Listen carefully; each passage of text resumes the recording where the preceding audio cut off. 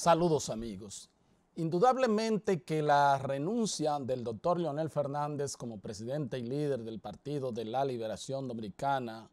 y con él gran o la mayoría de sus seguidores, miembros del comité político, el comité central, dirigentes, congresistas, ha sido el acontecimiento político más impactante de las últimas décadas en la República Dominicana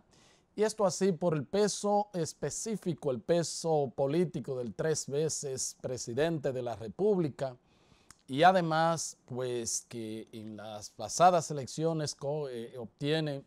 eh, alrededor de 900 mil votos, con lo que él pues ha dicho que eso han sido unas primarias eh, fraudulentas. Pero más allá de todo eso, viendo la realidad, la diferencia con su contendor del Partido de la Liberación Dominicana y hoy candidato Gonzalo Castillo es de apenas 20, 25 mil votos, lo que implica que aún enfrentando al su, a la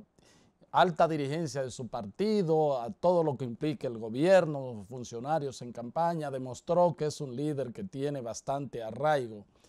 y eso definitivamente crea una reconfiguración del cuadro político del país como analizábamos anteriormente. Se da por un hecho de que los acuerdos que se producirán a nivel eh, congresuales y municipales entre las fuerzas opositoras, dentro de las cuales está el partido, el nuevo partido del doctor Fernández, la Fuerza del Pueblo,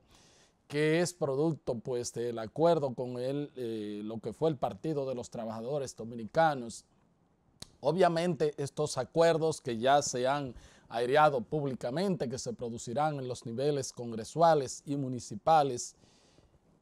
concluirán en las elecciones presidenciales del año que viene,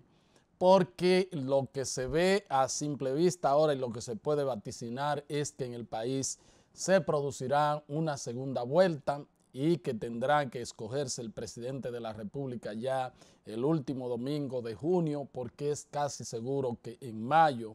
por, insisto, esa reconfiguración, es totalmente improbable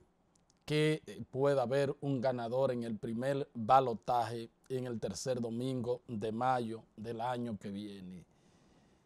Además de eso, vamos a ver cómo pues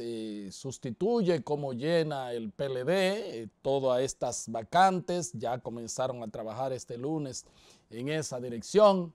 Pero lo cierto es que la oposición se ha incrementado para el partido de gobierno y ya leonelistas, PRMistas, si entra el partido reformista en el ajedrez y otras organizaciones minoritarias o partidos emergentes que eh, se confluirán como bloque opositor, no cabe dudas de que el partido de gobierno tendría que hilar muy fino y tendría que pues hacer un empeño máximo por tratar no solamente de mantener el control del poder ejecutivo, sino también